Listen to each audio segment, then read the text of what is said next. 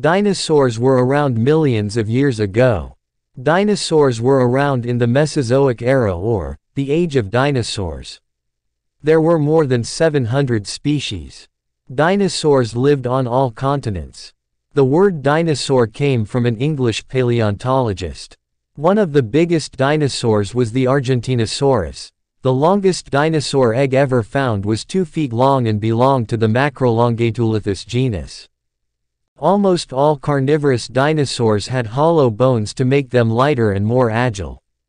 The most dangerous dinosaur was the Tyrannosaurus rex. Most dinosaurs were herbivores and only ate plants.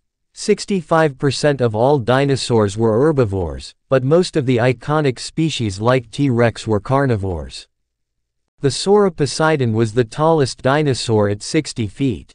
It belonged to the sauropod clade of dinosaurs which were known for their extremely long necks. Dinosaurs constantly replaced their teeth every couple of months. When old teeth were broken or damaged, new ones would grow and push the broken teeth aside. The heaviest dinosaurs weighed over 77 tons which is about as much as 17 elephants.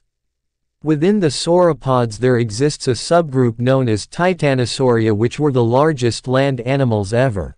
The largest claws of any dinosaur were 3.2 feet long and belonged to the Therizinosaurus.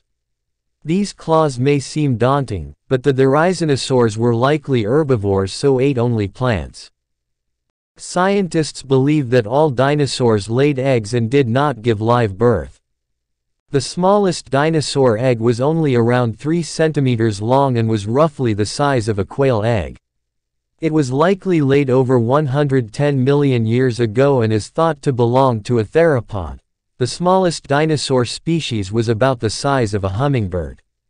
It was originally thought to be an avian dinosaur, but it was actually a small reptile that looked like a bird. Some dinosaurs lived in herds or groups. Many plant-eating species were living in groups as early as 193 million years ago. Thank you for watching this video.